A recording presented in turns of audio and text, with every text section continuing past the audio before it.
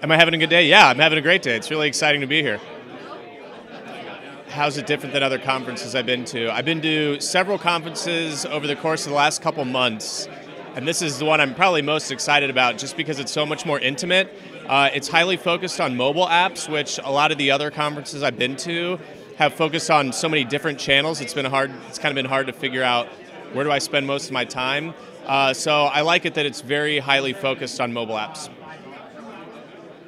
Key takeaways uh, mobile acquisition. People are very, very excited and interested in mobile acquisition, and I'm a little bit surprised that people aren't focusing more on engagement as well, just because we know it costs so much money to acquire a new customer. People just aren't focusing a whole lot of time on the engagement side. So I'm surprised about that. I see why they're interested in it, but uh, people are very, very excited and interested in the acquisition. I'm surprised. Yeah.